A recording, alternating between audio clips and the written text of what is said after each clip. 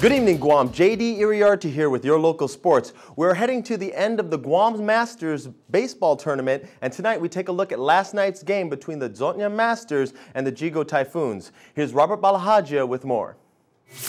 Masters tournament going on last night between the Yigo Typhoons and the Yona Masters.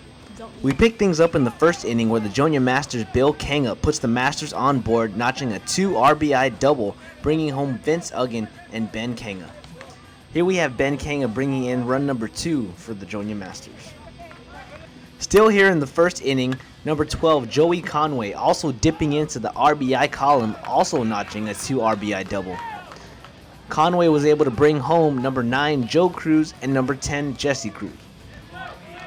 Late in the first inning, one of the errors committed by the Masters turns into a stolen base for the Yigo Typhoons number 22. The Yigo Typhoons waiting for a spark from their offense to finally get on the board when number 99 Jesse Miner proves he's still got it in him, notching a 2 RBI double.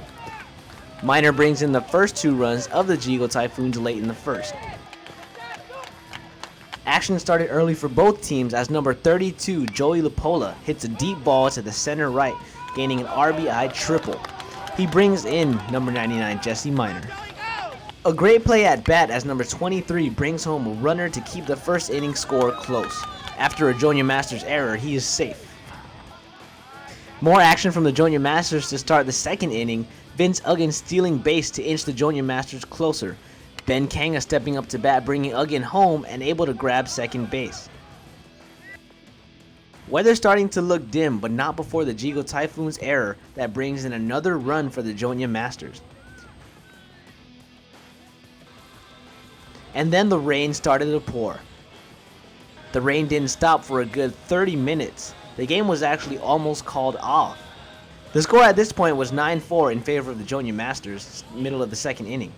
The game resumed after the rain cleared up, and the Yona Masters take this game with a final score of 16 6. Reporting for Sports Watch, I'm Robert Balajadia. The Guam National Youth Football Federation will be hosting their second annual health fair this Saturday, May 29th. We'll keep you posted on more event details this, as this Saturday and the week rolls on.